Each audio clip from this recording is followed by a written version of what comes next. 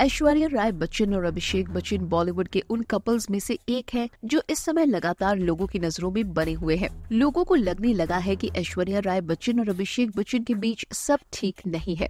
बीते कई महीनों से ऐश्वर्या राय बच्चन और अभिषेक बच्चन के तलाक की खबरें सामने आ रही हैं। अब तक तो ऐश्वर्या राय बच्चन और अभिषेक बच्चन के परिवार ने इस मुद्दे पर चुप्पी रखी है। हालाँकि कुछ समय पहले ही अभिषेक बच्चन ने अपने तलाक की खबरों पर रिएक्ट किया था। अभिषेक बच्चन ने दावा किया था कि वो फ़िलहाल शादीशुदा है। अब एंटरटेनमेंट के गलियारों में ऐश्वर्या राय बच्चन और अभिषेक बच्चन से जुड़ी एक वीडियो तेज़ी से वायरल हो रही है। इस वीडियो में जया बच्चन दावा करती नज़र आ रही है कि ऐश्वर्या राय बच्चन उनके खानदान की बहू नहीं है। वायरल हो रही वीडियो में जया बच्चन कहती दिख रही है, बेटी और बहू में काफ़ी अंतर होता है।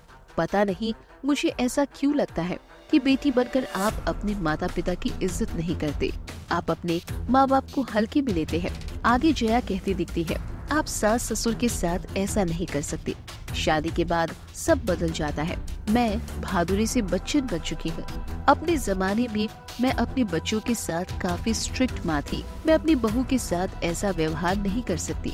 फ़िलहाल इस खबर पर आपको क्या कहना है? नीचे कमेंट बॉक्स में अपनी राय लिखकर ज़रूर बताएँ। ऐसी ही और खबरों से हमेशा अपडेट रहने के लिए चैनल को सब्सक्राइब कर लीजिए और वीडियो पसंद आया हो तो लाइक और शेयर करना ना भूलें।